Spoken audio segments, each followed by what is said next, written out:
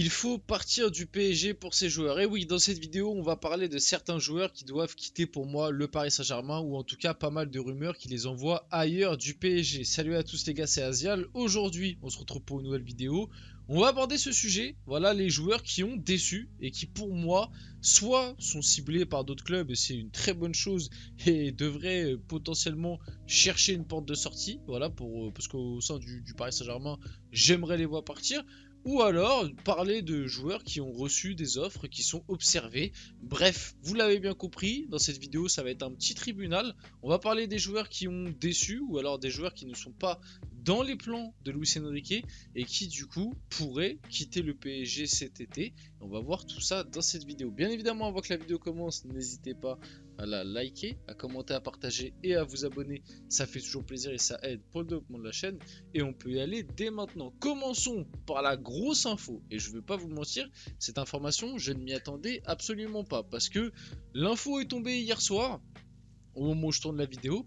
Dortmund fait de Randall Colomoni sa priorité. En plus de nous avoir éliminés en demi-finale de Ligue des Champions, il nous nargue en nous sortant des, informations comme ça. Il nous cible notre. franchement, c'est pas avec l'entrée de Colomwani à l'aller face à Dortmund qu'il il aura tapé dans l'œil. Donc je sais pas d'où viennent cette priorité là. Je sais pas comment ils ont pu se dire tiens, Randall Colomwani, si on en faisait notre priorité, je sais même pas si c'est vrai, je vous dis la vérité, j'ai énormément du mal euh, à croire euh, en cette information, mais apparemment les dirigeants du BVB souhaiteraient se séparer de Sébastien Haller, souvent blessé, ça c'est une réalité, malheureusement aussi le pauvre, il a eu des choses un peu plus graves que juste des blessures banales, et de Youssoufa Moukoko, et du coup, Randall Colomwani serait la priorité du BVB. Alors Randall Colomwani, c'est vraiment un sujet qui fait euh, énormément débat, j'ai envie de dire, dans la communauté parisienne, qui euh, pendant un long moment, il y avait deux clans. Tu vois, à chaque fois qu'on s'attaquait à Colomoni,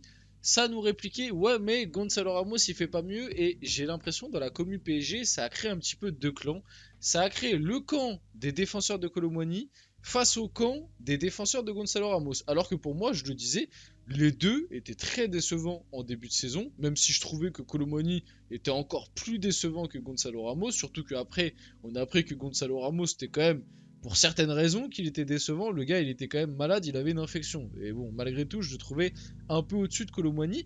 Et bah, en cette deuxième partie de saison, pour moi, le débat n'a plus lieu d'être. Gonzalo Ramos, il a quand même prouver un peu plus. Alors c'est toujours pas parfait, hein, je dis pas que c'est devenu R9, mais par rapport à Colomoni, c'est le jour et la nuit. Je trouve que Colomoni, au contraire, au fur et à mesure de la saison, il s'est de plus en plus enfoncé, écroulé. Et à l'heure actuelle, moi je vous dis la vérité, Colomoni, déjà que au moment de sa signature, j'étais pas forcément pour. Au-delà juste des qualités du joueur, c'était surtout le prix qui me dérangeait. Et à l'époque, je m'en rappelle, j'avais fait une vidéo pour parler de ça où je vous avais dit Colomwani, c'est pas un joueur dégueu. C'est un joueur qui a des qualités, qui a des qualités de percussion, qui a des qualités de vitesse, qui dans la profondeur peut faire du bien. Et moi déjà à l'époque je disais pour moi Colomoni c'est peut-être pas un numéro 9, surtout pas un numéro 9 dans le style de jeu de Luis Enrique. Au final, là-dessus je me suis pas trompé. Je me suis pas trompé aussi sur le fait que 90 millions c'était beaucoup trop cher et j'avais reçu des commentaires oui mais on s'en fout, euh, c'est pas ton argent, euh, si le PSG met 90 millions on s'en fout, nous on veut avoir Colomoni, on veut avoir le joueur. Ouais mais au final regardez dans quelle situation on se retrouve. On a payé 90 millions, c'est un flop, puis maintenant euh, va le revendre toi va le revendre ou alors va essayer de, minimiser le truc et essayer de pas perdre trop d'argent sur Colomoni. Moi, je vous le dis la vérité. Après, il est plein de bonnes intentions. Ça, je le dis, je le répète. Randall Colomoni, ça a l'air d'être un très bon gars et un gars qui a quand même un minimum d'attache envers le club. Et j'espère justement que cette petite attache qu'il peut avoir peut-être envers le PSG, c'est le truc qui va peut-être lui faire un petit déclic qui a l'avenir. Parce que, bon, je vais très vite, pas tourner autour du pot. Cette rumeur que à Dortmund, j'y crois pas. Et de toute façon, on va le voir juste après, il y a des infos qui sont sorties. Euh, il veut pas partir. Voilà, il veut pas partir. je pense qu'il ne voudra pas partir. Euh, au moins pour cet été, je pense les gars, on va garder Colomoni à part si on fait une et à part si on le placarde et qu'on lui dit bon mon gars, t'as pas le choix, c'est soit tu pars, soit tu restes au placard toute l'année. Mais je pense pas que le PSG va aller jusque là pour un joueur qu'ils ont payé 90 millions. Donc moi j'y crois pas au départ de Colomoni. Donc j'espère que cet amour, ou en tout cas ce semblant d'amour qui fait paraître qu'il a pour le club, c'est le petit truc qui le fera peut-être, qui lui fera relancer son aventure au PSG. Mais ça part très très mal. Donc euh, voilà, on en est là à l'heure actuelle. On va passer vite fait aux infos suivantes. Comme je vous l'ai dit, Randall Colomoni est la priorité du, Borussia Dortmund. Les dirigeants du BVB souhaitent boucler l'affaire sous forme de prêt avec option d'achat, mais pourraient proposer un transfert, sec jusqu'à 50 millions maximum. Mais le souci, c'est que Colomoni ne veut pas partir. Et même en vrai, 50 millions maximum en transfert sec ou alors prêt avec option d'achat.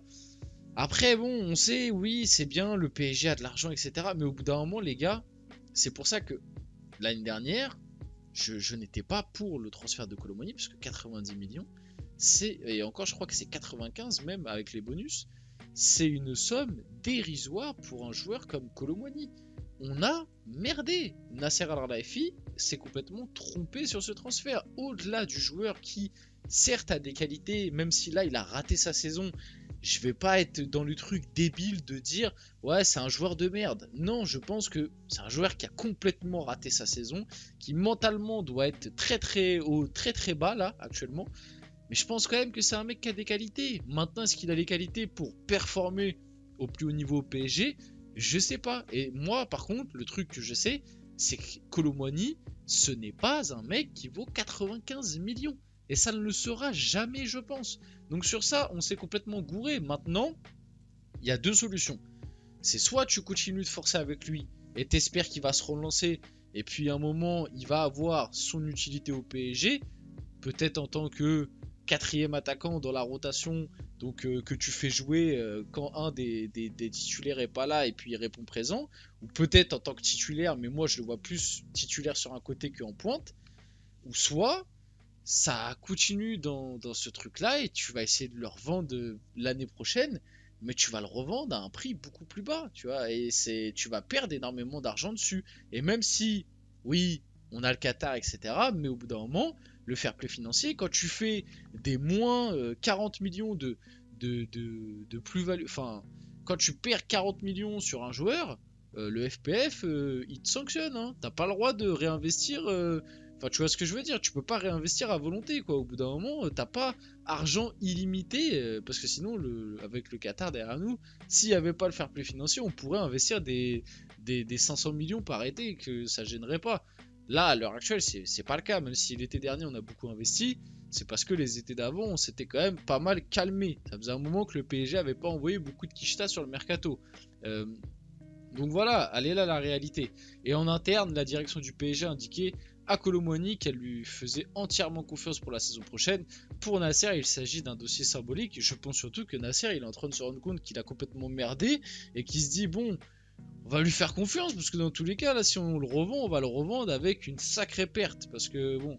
Le truc de 50 millions de Dortmund, comme je vous le dis, moi j'y crois pas. Je pense que là, si tu essayes de vendre Colomani, euh, c'est franchement, ça vient de le chercher à 30 millions maximum pour moi. Après, on sait jamais. Peut-être qu'imaginons, il fait un euro de fou.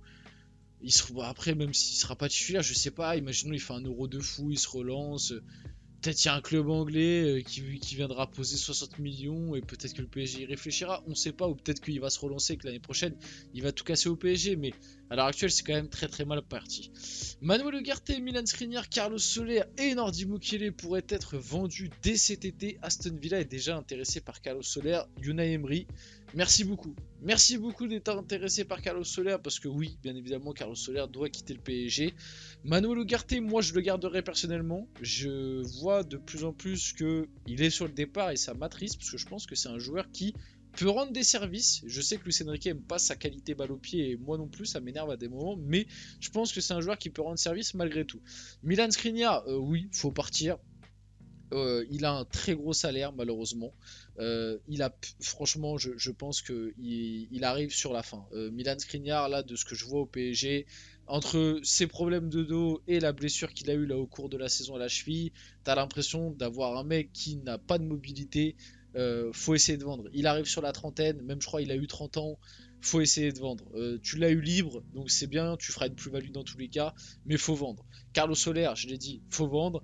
Et euh, du coup, Nordi Mukiele, c'est peut-être le dossier le plus compliqué. Luis Enrique n'aime pas, notamment pour ses sorties nocturnes.